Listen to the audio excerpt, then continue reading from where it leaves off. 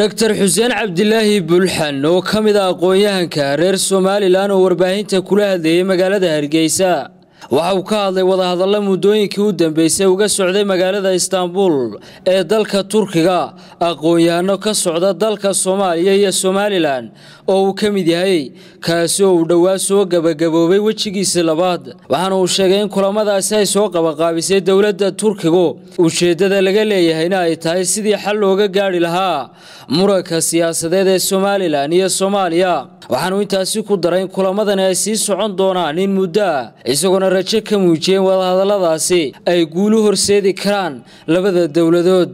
Wadahadalladu siday u socdeen aad baan ula yahay runtii. Waayo wax midho dhala ekayn muran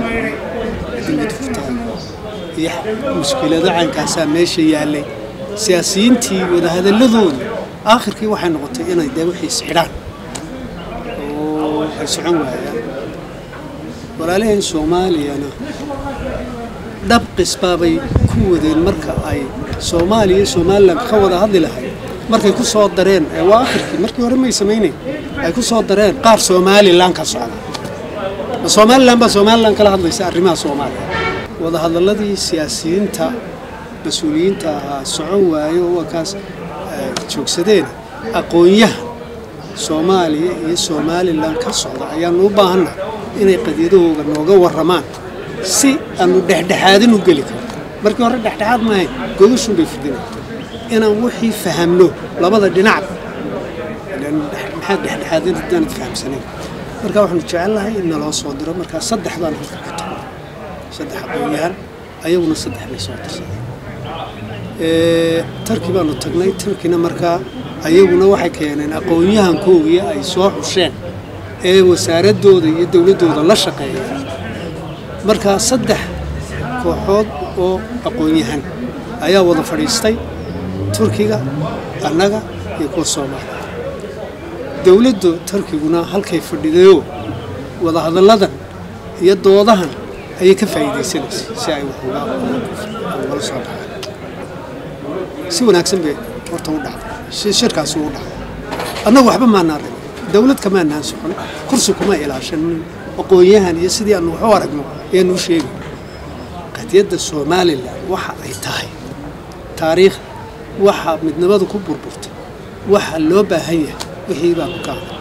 Waxaa kalooanu ka hadalnay turki tolow.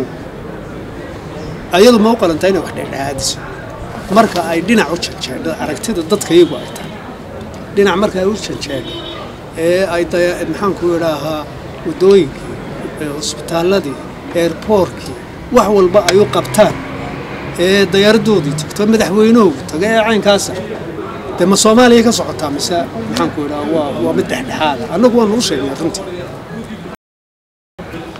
Maanta shalay aan ka imi wuxuu ahaa shirkii labaad ee laysku soo noqday annagu aqoon-yahan baanu أقويهم كنا هدانو حلابور يعلم هدانو مشكلة هلا حل كي غير هادين وكل عليه وعي هراء دح لكو دحسو ده القويهم ما شفتي سوى ناقص من موجود ما ذا واحد هو كله كو إن محن كورا هذا اسكو صار نقدر صدق دي بلوت بمر اسكو صار نقدر يمكن جانوري بقى أفرشير وكله لكل مر la nimaadno wax midho dhal u noqonayo somalilan iyo soomaaliya aakhirkana haddii xalka aanu u helno yaa xalku ma aha uun maxaanku idhaa anaaka xukumayo iyo magaranaysa ama ma doonaye waxay naga dhexeeyaa ma jiro war bal annagu xayagii xurriyaddaydii waanu haysanay wax maxaanku idhaa aanu u sarrifaynaana ma jirto dhaktar xuseen cabdilaahi bulxan waxa uu tilmaamay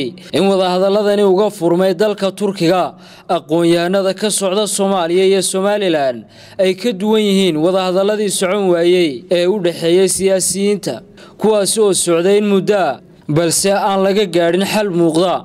Waa cidruus cabdilaahi ismaaciil beershiya telefishinka caalamiga ee somaali kabel hargeysa